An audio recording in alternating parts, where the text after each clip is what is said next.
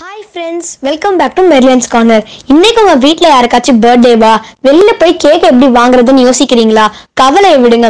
வீட்டில் உள்ள பொருட்களை வச்சு டேஸ்டியான கேக் எப்படி பண்ணுறதுன்னா இந்த வீடியோவில் நாம பார்க்க போகிறோம் ஸோ இந்த வீடியோ உங்களுக்கு பிடிச்சிருந்துச்சுன்னா லைக் பண்ணுங்க ஷேர் பண்ணுங்க சப்ஸ்கிரைப் பண்ணுங்க. மறக்காம இந்த பெல் ஐக்கானையும் கிளிக் பண்ணிடுங்க. வாங்க நம்ம வீடியோக்குள்ள போகலாம் இப்போ நான் வந்து போர்பன் பிஸ்கட் வந்து டூ ஃபிஃப்டி கிராம் எடுத்துக்கிறேன் கேக் மேக் பண்ணுறதுக்கு மில்க் வந்து பார்த்தீங்கன்னா என்ன மெஷர்மெண்ட்னா இது டூ ஃபிஃப்டி கிராம் எடுக்கிறீங்க அப்படின்னா மில்க் வந்து நீங்கள் டூ ஃபிஃப்டி எம்எல் எடுத்துக்கணும். இதுதான் மெஷர்மெண்ட் இந்த கேக்கு இப்போ இந்த போர்பன் பிஸ்கட்டை வந்து நீங்கள் நல்லா சின்ன சின்னதாக இப்படி உடச்சி போட்டுட்டு நம்ம கிரைண்ட் பண்ணணும்.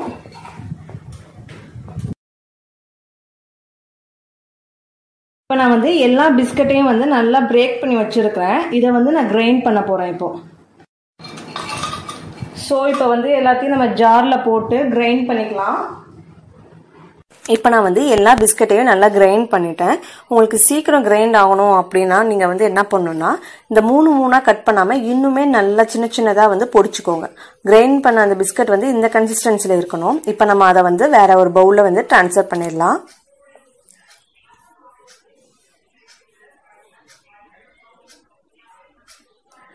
ஸோ இந்த பிஸ்கட்டில் வந்து இப்போ நம்ம என்ன பண்ண போகிறோம் அப்படின்னா மில்க் வந்து நான் ஆட் பண்ண போகிறேன் ஃபஸ்ட்டு வந்து கொஞ்சமாக மில்க் ஆட் பண்ணிக்கோங்க.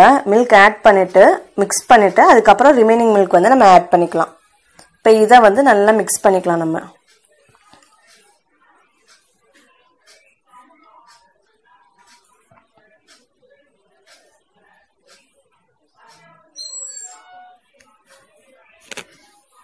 ஸோ மிக்ஸ் பண்ணிவிட்டு இப்போ நான் என்ன பண்ண போகிறேன் அப்படின்னா அந்த ரிமைனிங் மில்க்கையும் வந்து ஆட் பண்ண போகிறேன்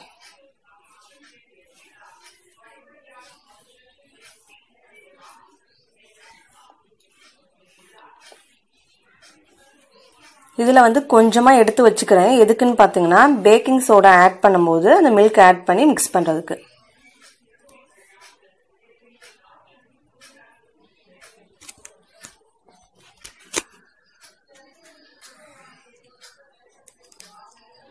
இதை வந்து நல்லா மிக்ஸ் பண்ணிக்கோங்க. உங்களுக்கு வந்து லம்ஸ் எதுவும் இல்லாமல் நல்லா மிக்ஸ் பண்ணாதான் உங்களுக்கு கேக் வந்து நல்லா வரும். ஸோ இப்போ பார்க்கும் போது உங்களுக்கு தெரியுது இல்லையா? கொஞ்சம் கொஞ்சம் அங்கங்கே திப்பி திப்பியாக இருக்கு இல்லையா? அது எல்லாமே வந்து உங்களுக்கு ஸ்மூத்தாக ஆகுற வரைக்கும் நீங்கள் நல்லா மிக்ஸ் பண்ணிக்கோங்க.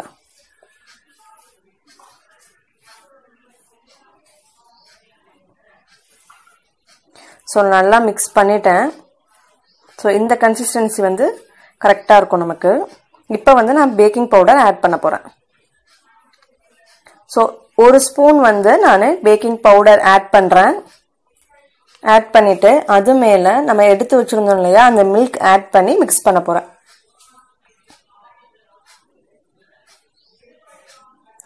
ஸோ இதை வந்து நல்லா மிக்ஸ் பண்ணிக்கோங்க.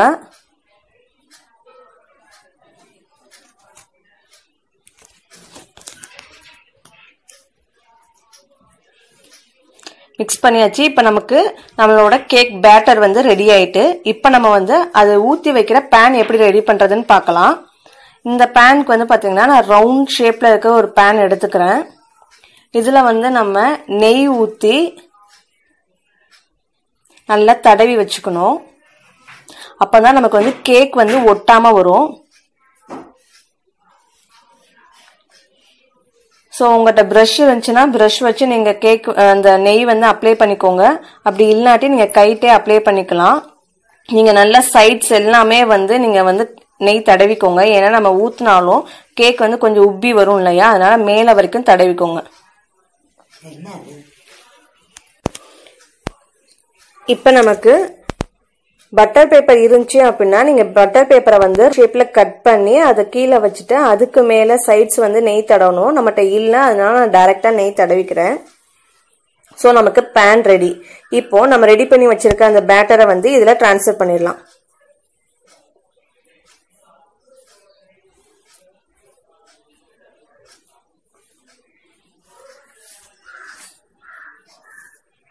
ஸோ நான் எல்லா பேட்டரியும் இதில் ஊற்றிட்டேன் இப்போ வந்து என்ன பண்ண போறேன்னா நல்லா இந்த பாத்திரத்தை வந்து இந்த மாதிரி டேப் பண்ணுங்க.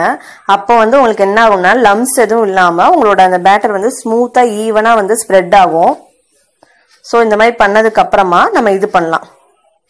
பேக் பண்ணலாம். அதுக்கு வந்து நான் ஃபஸ்ட்டு என்ன பண்ணியிருக்கேன் அப்படின்னா பழைய தோசைக்கல் எடுத்து அதை வந்து ஃப்ரீ ஹீட் பண்ணியிருக்கேன் அதை வந்து ஒரு ஃபைவ் மினிட்ஸ்க்கு மீடியம் ஃப்ளேம்க்கு ஃப்ரீ ஹீட் பண்ணிக்கோங்க. அதுக்கப்புறமா இந்த நம்ம பேட்டர் ஊற்றி வச்சிருக்க இந்த பேனை வந்து நீங்கள் என்ன பண்ணிக்கணும் அப்படின்னா மேலே வச்சு twenty five to thirty minutes வந்து ஃபுல் சிம்மில் வச்சு பேக் பண்ணணும். மேலே வந்து நல்லா ஒரு மூடி போட்டுக்கோங்க. ஃபுல் கவர்டு ஒரு மூடி போட்டுக்கோங்க. இப்போ வந்து கரெக்டாக ஒரு தேர்ட்டி மினிட்ஸ் ஆகிருக்கு இப்போ நம்ம எடுத்து பார்க்கலாம். கேக் எந்த அளவுக்கு வெந்திருக்குன்னு. ஸோ அது செக் பண்ணுறதுக்கு வந்து இந்த மாதிரி ஒரு டூத் பிக் எடுத்துக்கோங்க. அந்த டூத் பிக் எடுத்துட்டு இந்த மாதிரி நல்லா குத்தி பாருங்க. ஸோ உங்களுக்கு வேகலை அப்படின்னா உங்களுக்கு அதில் வந்து மாவு மாவாக இருக்கும். இப்போ நமக்கு வந்து நல்லாவே சூப்பராக வெந்திருக்கு. ஒரு மாவு கூட நமக்கு ஒட்டலை. ஸோ இப்போ நம்மளோட கேக் வந்து தயார். இப்போ நான் வந்து கேக் எடுத்துட்டேன். எடுத்து நல்லாவே ஆறிட்டு இந்த ஆறின கேக்கை வந்து இப்போ நீங்கள் என்ன பண்ணுவோம் அப்படின்னா இந்த சைட்ஸ் எல்லாம் வந்து இந்த மாதிரி நைஃப் வச்சு நல்லா இப்போ நான் நெய் கொஞ்சம் அதிகமாக போட்டனால கொஞ்சம் நமக்கு ஃப்ரீயாகவே வருது. இந்த மாதிரி எடுத்து விட்டுக்கோங்க. ஸோ இந்த மாதிரி ஒரு பிளேட்டில் அதை கவுத்து நம்ம இது பண்ணிக்கலாம்.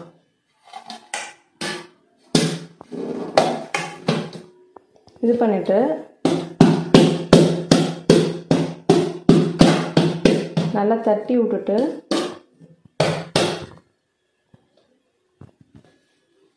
இப்போ நான் வந்து எடுத்துட்டேன் பாருங்கள் ஸோ இதை நம்ம திருப்பி வச்சு டெக்கரேட் பண்ணலாம் இப்போது நம்ம டெக்கரேட் பண்ணலாம் இதை.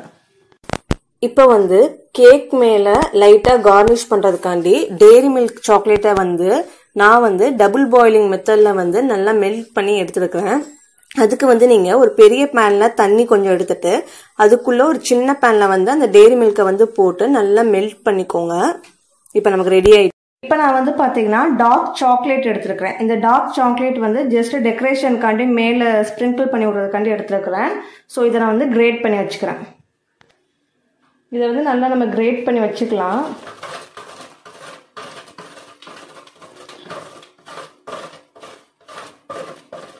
பாருங்க இந்த மாதிரி வந்து எல்லாத்தையுமே வந்து கிரேட் பண்ணி வச்சுக்கோங்க. இப்போ நம்மளோட கேக்கை வந்து நம்ம கார்னிஷ் பண்ண ஸ்டார்ட் பண்ணிடலாம். அதுக்கு வந்து இந்த டேரி மில்க் வந்து மெல்ட் பண்ணி வச்சிருந்தேன் இல்லையா? அதை எடுத்து நல்லா மேலே வந்து நான் ஸ்ப்ரெட் பண்ணி விட போறேன். ஸோ ஈவனா அதை நீங்க வந்து ஸ்ப்ரெட் பண்ணிக்கோங்க.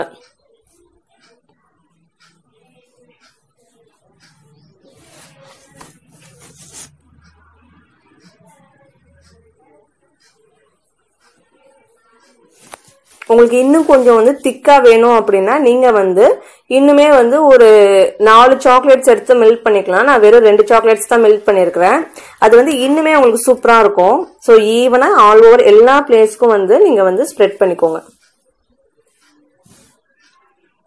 இப்போ நான் வந்து மேல் லேயர் ஃபுல்லாக டெய்ரி மில்க் வந்து ஸ்ப்ரெட் பண்ணி முடிச்சிட்டேன். இப்போ நான் ஆல்ரெடி கிரேட் பண்ணி வச்சிருந்த அந்த டார்க் சாக்லேட்டை வந்து என்ன பண்ணுறேன்னா ஒரு ரவுண்ட் பால் மாதிரி எடுத்து ஃபோர் சைட்ஸ் ப்ளஸ் சென்டர்லேயும் வந்து வைக்கிறேன் டெக்கரேஷன் கண்டி.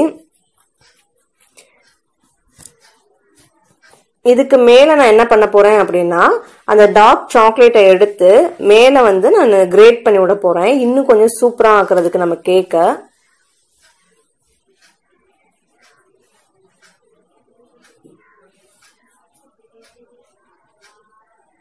ஸோ இப்போ கிரேட் பண்ணி விட்டுலாம்